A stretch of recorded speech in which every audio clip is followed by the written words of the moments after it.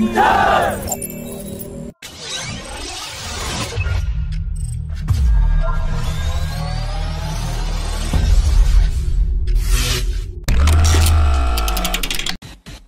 Defense has reported that the Kaveri dry engine has successfully completed high-altitude trials in Russia.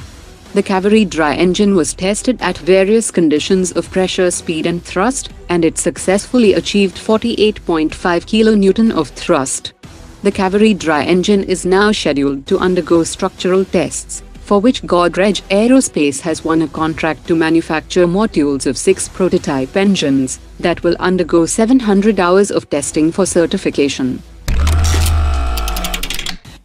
The Indian Navy has officially notified the Ministry of Defense that the Rafale Marine fully meets the requirements of the multi-role carrier-borne fighter tender, more than the American F-A-18, and the contract signing for 26 carrier-borne Rafale Marine fighter jets will happen soon.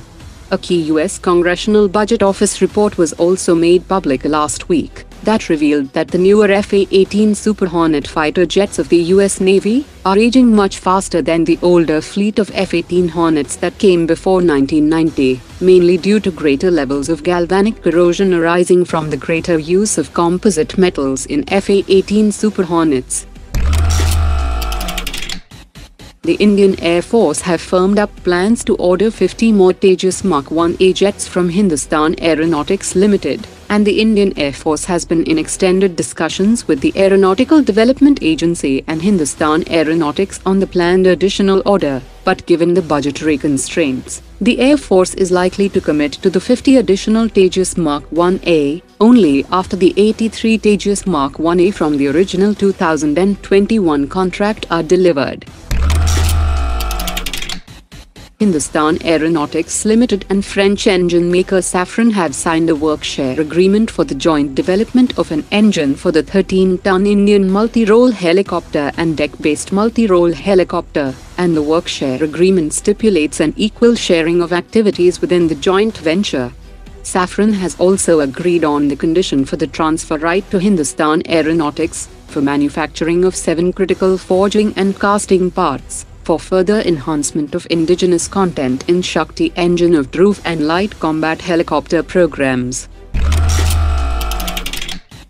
Brazilian firm Embraer is holding talks with the Indian Air Force for the sale of six units of Praetor 600 jet for the Netra Mark 1 program, which is a smaller jet than the ERJ 145 platform that is currently being used on the Netra Mark 1. The Praetor 600 has higher cruise speed, better fuel carrying capacity, as well as better on-station endurance, and it also offers twice the range than the ERJ 145. The Praetor 600 has a higher service ceiling of 45,000 feet, as compared to 37,000 feet of the ERJ 145 platform, that will improve radar performance.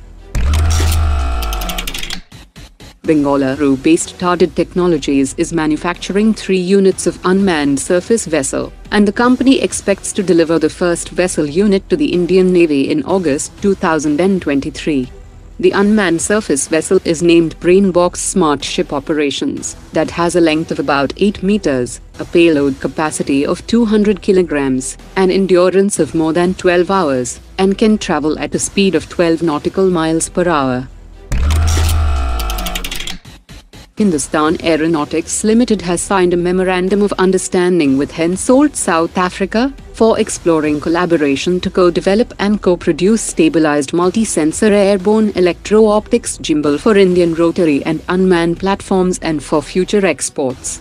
HAL has also signed an agreement with Hensoldt Germany for collaboration covering intellectual property rights and transfer for design and manufacture of obstacle avoidance system for Indian helicopters. Thank you.